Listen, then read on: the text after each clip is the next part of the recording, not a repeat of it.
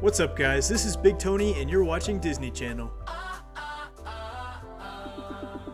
Just kidding. Anyway, today we're building a Swiss chalet style mountain house with a fully decorated interior. Before we start building, here are the materials that you'll need.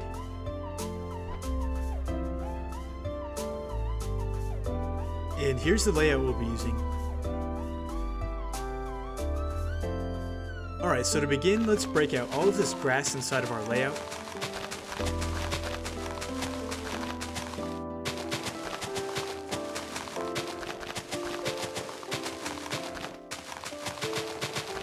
In this 3 block wide opening at the back of the house, let's place 6 stone bricks, and then we'll place a 3x4 of polished andesite at the bottom left of our layout.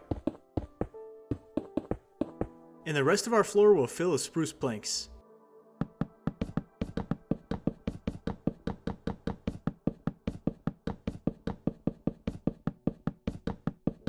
On top of all of the black and white blocks of our layout, we'll place one layer of polished diorite.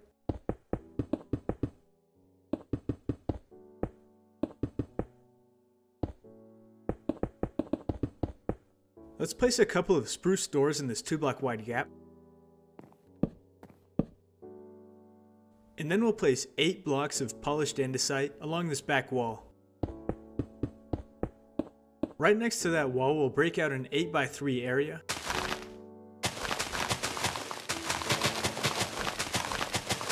And fill that in with a mixture of mossy and normal cobblestone.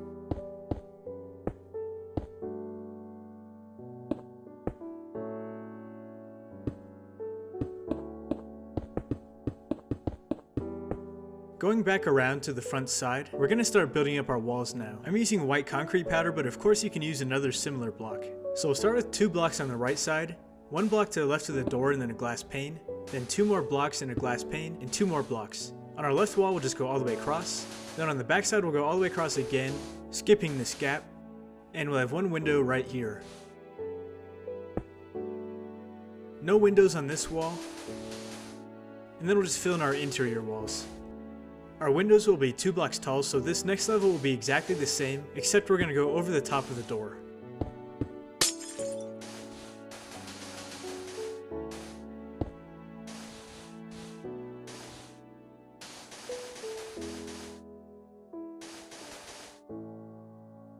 Next layer will be a little bit different, so we're going to skip this side wall because we'll have a beam instead, go across the front side,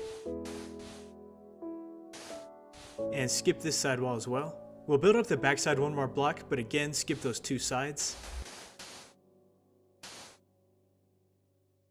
And leave those inside walls how they are. So let's go ahead and build up our back wall now.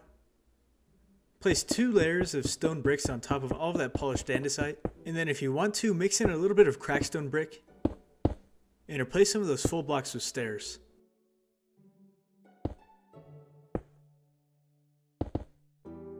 One block over from the left side we'll place three stone bricks. This will be our chimney. You may notice that it's not aligned with the chimney on the inside, but don't worry, this isn't a mistake.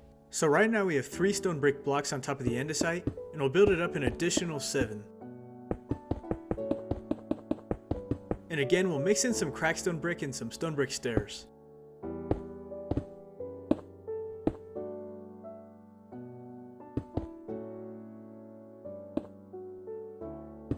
Eventually our chimney will be a 3x3 but we'll leave it like this for now until we get our upper walls in place. On the inside place 4 stone brick blocks on each side with one block at the top to connect them. Next place a campfire in this space and 2 stone brick walls on each side with an iron bar in between. Next place a stone brick stair facing inwards on each wall and then one more stone brick stair in the center. On the back wall we're going to build a little workshop area so start with one stone brick wall on each side, and two fence posts on top of that wall, and a spruce fence gate sticking out. Then we'll make a roof using 16 extinguished campfires.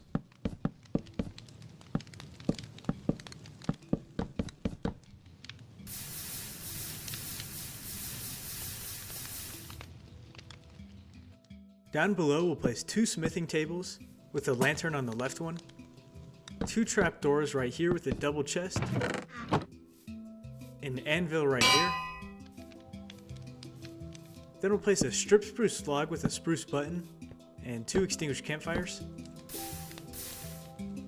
Next to that log, we'll place a stone cutter and we'll make a chair using a spruce stair and two spruce signs. While we have these trapdoors, let's go ahead and place some shutters on our windows. So we'll place two spruce trapdoors to the left of each window. And I'm also going to place two signs on top of our door. Next I'll take some strip spruce logs and place it all the way across this side wall and extend it out in each direction by one. On the front side, skip two blocks and place one more here. Then skip three blocks and place one here. Then we'll place another log going all the way across the side wall. Skip two blocks in this direction and place another, and two blocks and place one there. On the inside, we'll just have one log going all the way across this inside wall. Then I'm going to place two polished diorite slabs right below that log. In between all of those logs on the front side, I'm going to place spruce top slabs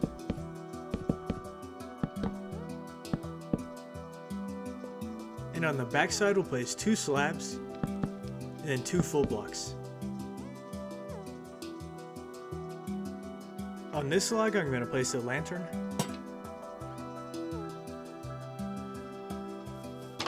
And then let's go inside and make a staircase. So we'll start right here, two blocks from the wall, we'll place a stair. And just build those stairs up to the top. And we'll place upside down stairs underneath. Then we'll fill in our second floor using top slabs. Just make sure to leave a gap where your stairs are so you can get up.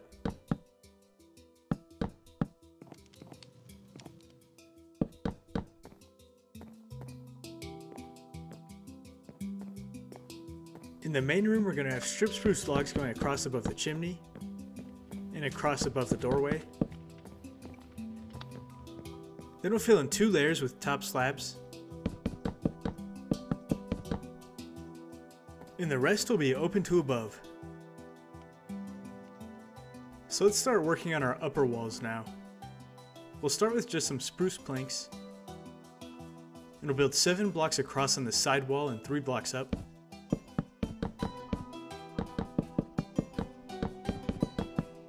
On the front wall we'll leave a space for a 1 tall 2 wide window, and let's put some glass in there. And two blocks over, we'll go up another level for two more blocks. In the center, we'll have a three wide, two tall window.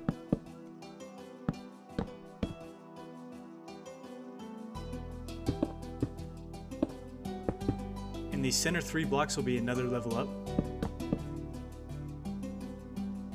And on the right side, again, we'll just leave a one tall, two wide window. On the back side, the shape of the wall will be the same, but the windows will be a little bit different. So I'll start with the same one tall, two wide window. And then in the center, we'll have a 2 by 2 window instead of a 3 by 2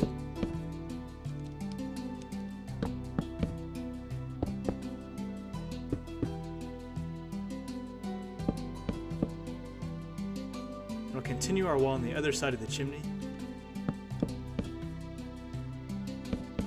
The sidewall we'll have two 2 block tall and 1 wide windows. There'll be 1 block of space in between them, and they'll be in the center of the wall.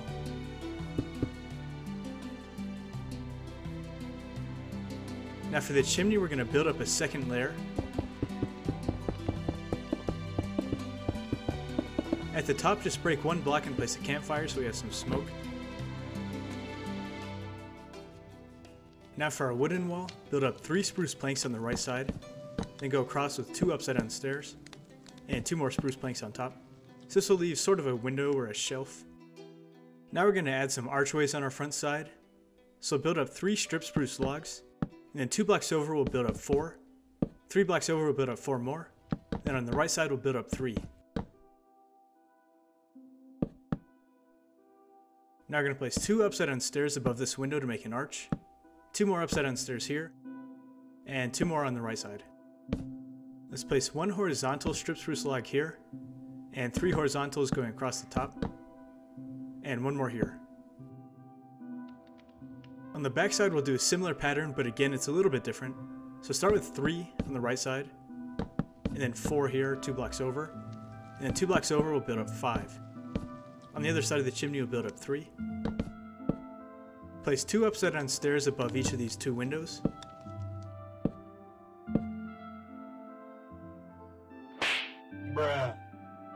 We'll place two horizontal logs here and one here.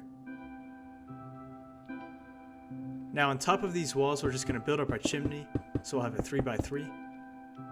And again, I'm going to mix in some cracked stone brick and some stone brick stairs.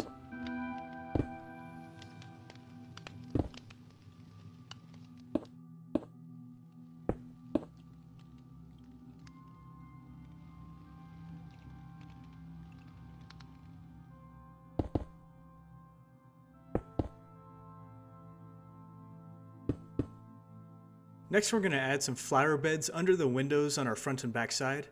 So just place in some grass or dirt, and place azure bluets or you can also use grass or another flower. And cover up that dirt with trapdoors. And we'll repeat this with these two windows on the back side.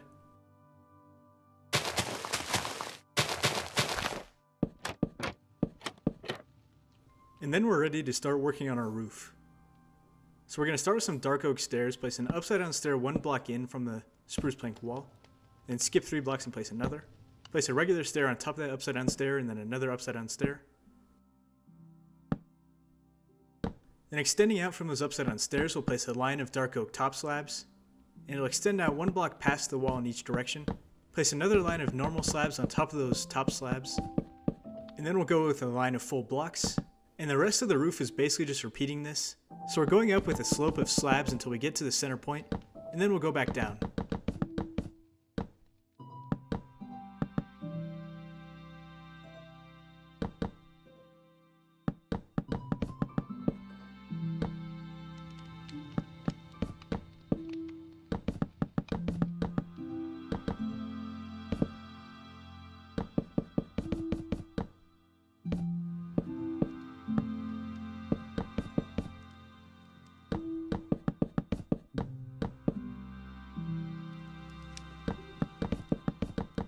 Once we get to that center point, we'll go to the other side and repeat this. We'll start with our dark oak stair supports in the same way we did on the other side.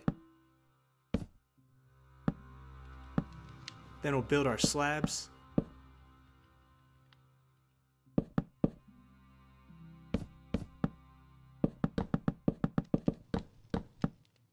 And then full blocks and then we'll just continue the pattern.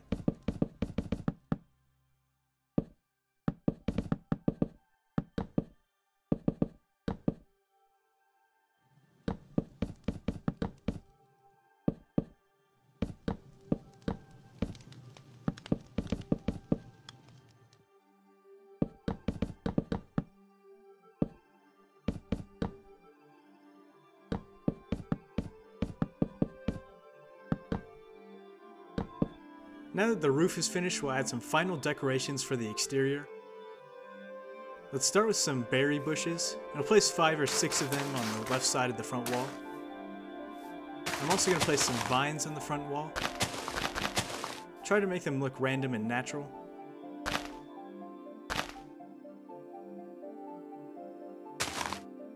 And then on this side wall, I'm going to add some oak leaves as well as the vines.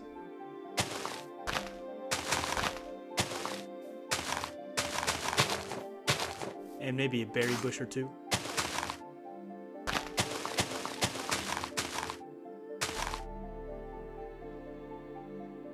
On the other side, we'll do the same thing using oak leaves and vines, except I'm also going to add a bench in the center of the wall.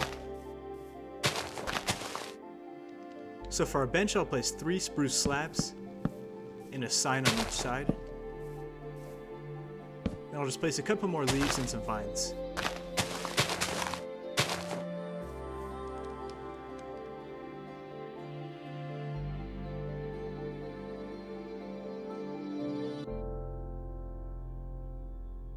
Next I'll show you a path example. So for my path I'm just going to use stone to map out the shape.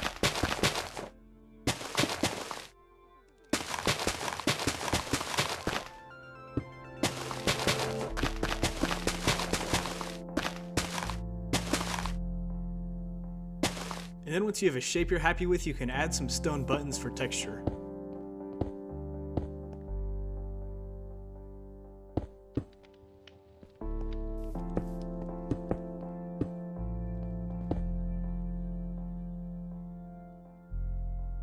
So that's all for the outside, now let's head inside. So first of all, I'm going to add some leaves to the shelf that we made. Then I'm going to place a lantern hanging from this log, and I'll make some extra firewood next to the fireplace using an extinguished campfire. Next I'll make a 3x4 carpet using light gray carpets, but you can use any color that you'd like. Next to the carpet on this wall I'll make a couch using dark oak stairs. And in the corner I'll place a crafting table with a flower pot on top. Next to the door I'll place a tripwire hook coat hanger. Then a lectern with a book in it and some bookshelves. On the wall above the couch I'm going to place three one block paintings.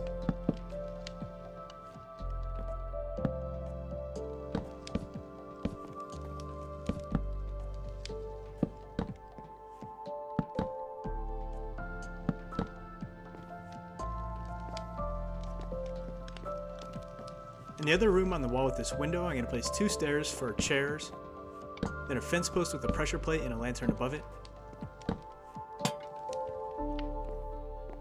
For the kitchen, let's start with two barrels and a flower pot. Then under the window, I'll place a smoker with a pressure plate, a blast furnace in the corner, and then two normal furnaces. Let's place a lantern on top of one and a cake on the other. In this space right here, I'm going to place a cauldron with some water and a lever and then a painting above it. And let's also place a two block wide painting next to the staircase. And that'll be it for this room. Now let's go upstairs. I'm going to start by placing a chest and then we'll make a railing for the staircase using oak trapdoors. I'm also going to add a railing on this end. We'll just add some placeholder blocks so we can get the oak trapdoors on the outside of the block.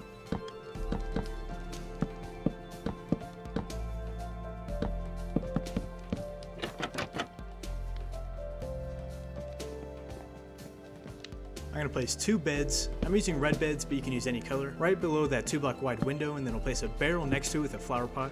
Above that flower pot, I'll place a chain with a lantern on it. Then above our staircase, I'm going to make a shelf using dark oak trapdoors. I'll place a grindstone and a pot with a sapling in it. Below our three block wide window, I'm going to make a desk out of oak stairs and slabs. Put a flower pot on one end and a lantern on the other. Then I'll make a chair using an oak stair and some signs. Our final decoration will be a moose head above this 3 block wide window. So to make that I'll place a dark oak stair with a dark oak button below, and then two oak fence gates for the antlers. Alright, so that's it. Let's take a little look around.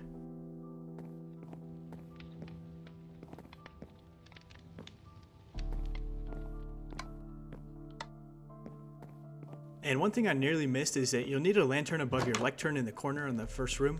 Otherwise it'll be too dark and mobs can spawn. And now for a special message from my cousins. Bye! Subscribe to Tony, um, Big Tony MC.